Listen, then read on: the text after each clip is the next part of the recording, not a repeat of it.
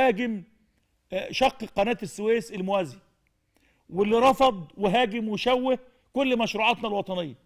نختلف نتفق مع بعضها مع كلها في الآخر هتجد إن الإخوان واقفين على يسار الدولة المصرية والوطن والأمة المصرية بشكل كامل. على يسار الدولة 100% 100% في كل شيء. أنا يعني آه، ببدأ الحلقة بتاعتي بخبر ان الرئيس حط آه، باقات ظهور على قبري الرئيس عبد الناصر الله يرحمه والرئيس الرئيس الله يرحمه واجتماع من مجلس القوات المسلحة ده خبر وخلاص.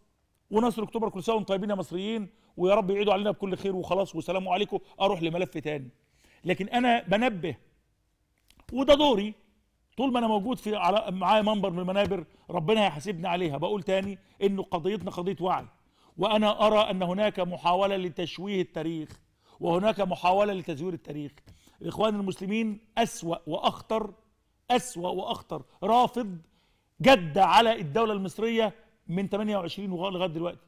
كل شيء الدولة بتقوم بيه بيشوهوه. كل شيء الدولة بتقوم بيه بيشككوا فيه. هو بيحاول يعمل دولة داخل الدولة دولة موازية. عملنا انتصار خد بالك. هات لي يا ثروت لو سمحت.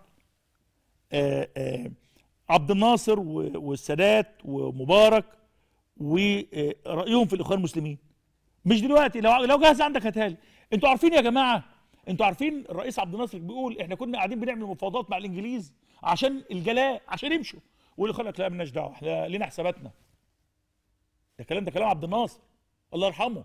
كلام الرئيس عبد الناصر الله يرحمه اللي النهارده علاء الأسواني بيحاول يشوه في جمال عبد الناصر يقول ده هو اللي عمل آه، ال- الحرائق اللي كانت موجودة في القاهرة سنة 54 محاولة متكاملة لتشويه مصر.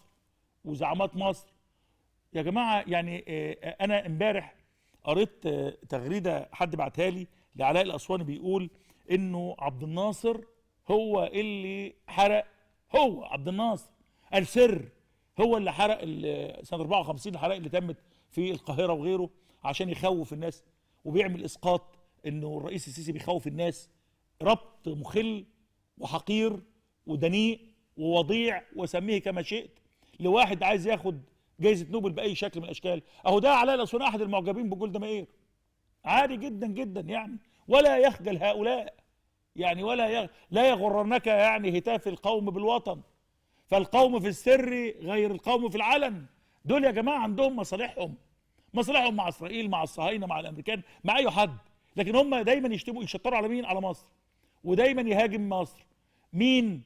عدو مصر. أنا بتكلم مش بخون مش بخون يعني شغال عمال مدعي الوطنية وبقول لا أنا وحضراتكم بالتأكيد الناس اللي قدامي عارفين بالتأكيد الناس اللي بتتابع عارفين عارفين مين اللي مع مصر ومين اللي بيشتغل على مصر ومين اللي بيسترزق من مصر ومين اللي شغال مصر دي بالنسبة له فندق يعني يقعد فيه لو ساعد الخدمة بيسيبه ويروح لفندق تاني. عموما يعني بكرة إن شاء الله